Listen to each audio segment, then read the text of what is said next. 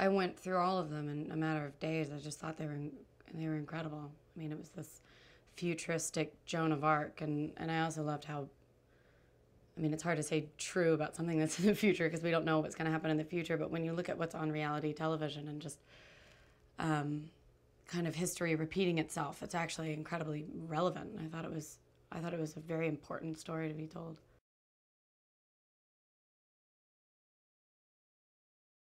When we first meet Katniss, she lives in District 12, which is a poor district, but she hunts and she loves the forest, she loves the woods, she loves her little sister.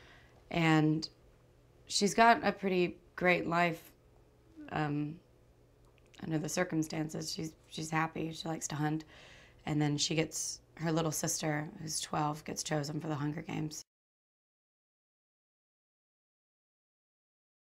Cinna is played by Lenny Kravitz, one of my very dear friends. He's he's awesome, and he's so perfect for this part because he Lenny has just this, such a gentle persona where he just makes everybody comfortable, which is hard to do when you're a huge rock star and everybody knows who you are. But he, he has this ability of just making everybody feel very comfortable and, and, he, and he's very gentle. And Cinna has that ability to make somebody feel comfortable.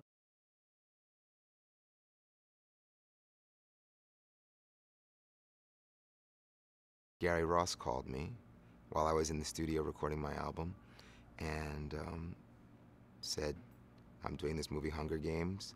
I'd like you to play the part of Cinna.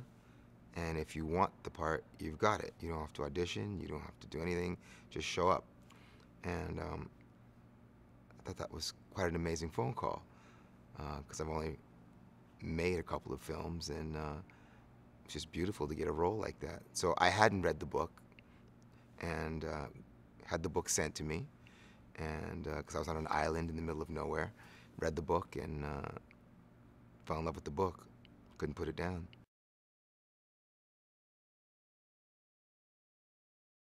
What makes Katniss endearing to me is the fact that she's she's the underdog. You know, she's this girl from this District 12, you know, and um, she's probably the most unlikely person to win and um, she just becomes this amazing heroine.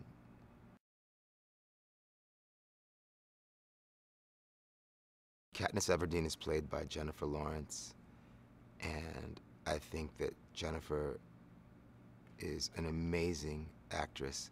I knew her before doing this um, because she was in X-Men with my daughter Zoe, and um, so I've been watching her now for a couple of years. And I just think that she's got so much talent. Um, and I think, I mean, to me, she's like a young Meryl Streep. You know, she's got a lot of range, and people are going to see a lot coming from her. And I just think that she is the character. From the moment I arrived to the set, um, she just embodied Katniss's spirit. For me, Peeta was an amazing character. Um, I fell in love with him right away. Uh, and what's crazy to me is I've never seen a character that was so much of who I am as a person. I just feel like his kind of self-deprecating humor, his, his outlook on life and, and how he doesn't want things to change him um, was really kind of a part of who I am as a person. And, you know, being in this business at a young age, from nine years old, you know, there's a lot of times where you can let things change you and, and let people have a big effect on you, but just making sure that you stay true to who you are and, and what your value system is was really important to me since a young age. And I think that's something that, that was really attracted to me about Peeta because that's how I am as a person as well.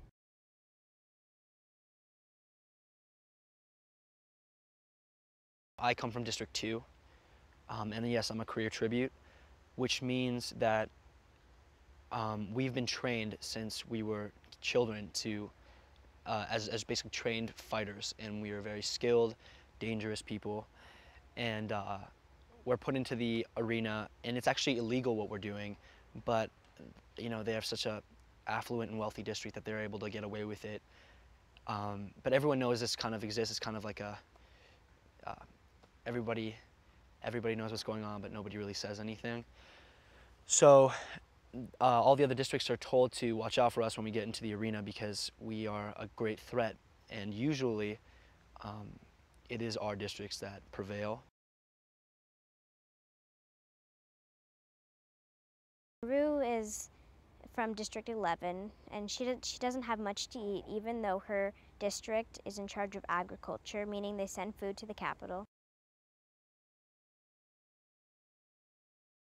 Rue is she's very good at scavenging for food, so she knows that she can survive. And she's also she's very good at climbing trees, and she can swing from branch to branch. And also she she um, she's very musical, so she uses the mocking jays in the trees to send messages back and forth to Katniss. people are definitely going to like the movie if they read the book because it's like taking the book and when you turn it into this kind of real thing, it just makes everything so much more vivid and so much more exciting. And I think it's really going to be like a heart-pounding, exciting movie, and it's going to be it's to be great.